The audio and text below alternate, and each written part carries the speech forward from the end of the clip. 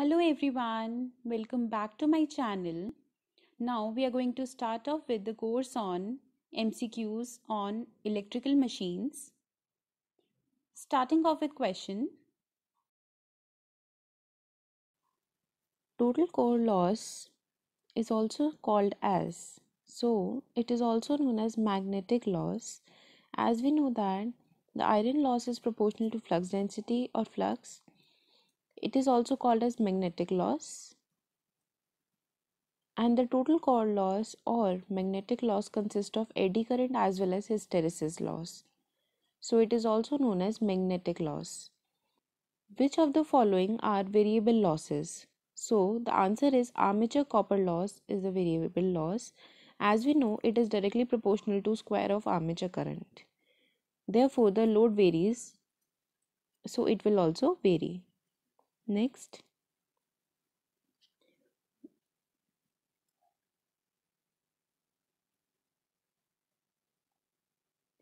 Maximum efficiency will occur when the copper loss is.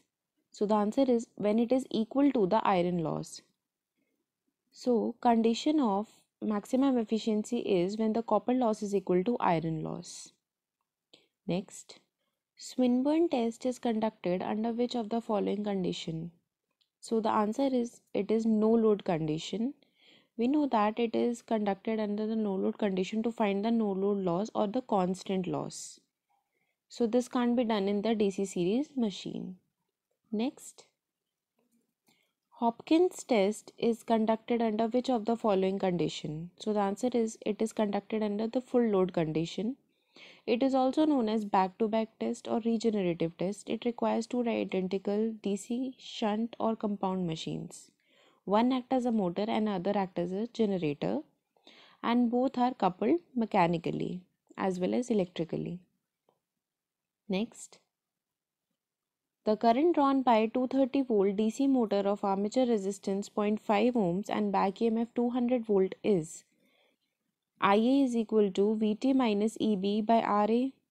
So we can just write the values 230 minus 200 divided by 0.5. So the answer will be 60 amperes. So the answer is 60 amperes. Next, which of the following methods are used to control the speed of the DC motor? So the answer is it the field current control, armature circuit resistance control and supply voltage control all of the above can be used. So the answer is it is d. Next. Dc series motor is accidentally connected to a single phase ac supply voltage. So what will happen to the torque produced? So the answer will be it will be pulsating and unidirectional. As we know that in dc series motor the ac current through the field and the armature winding will be unidirectional by the commutator and the brushes so the torque will be unidirectional but it will be pulsating in nature. What is the increase in torque expressed as percentage of initial torque?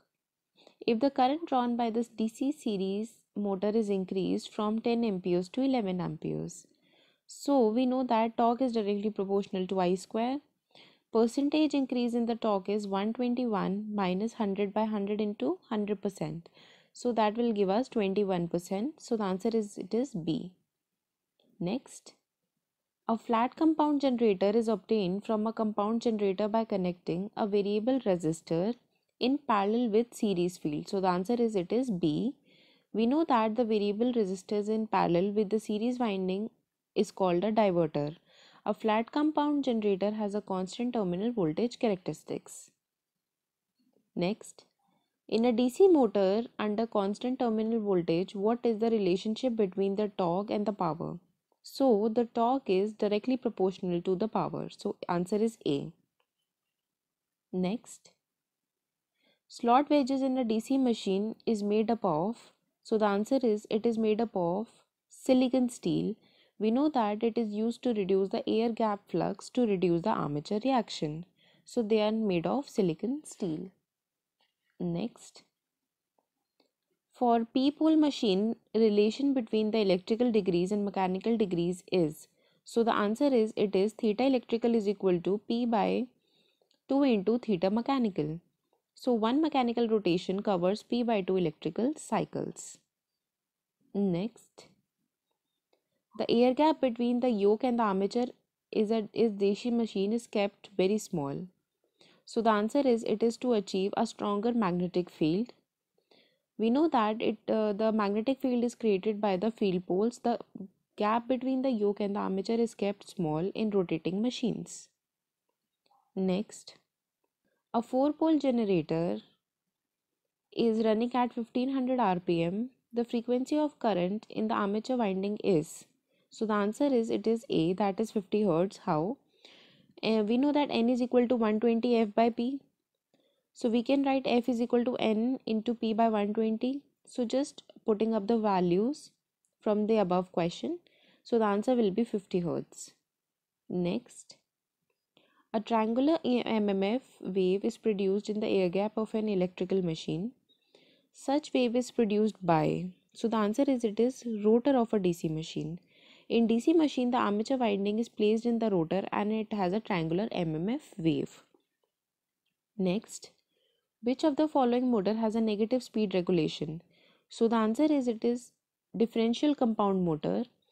In this motor, the series flux opposes the shunt field flux. As the load increases, the flux will also increase for the differential compound motors.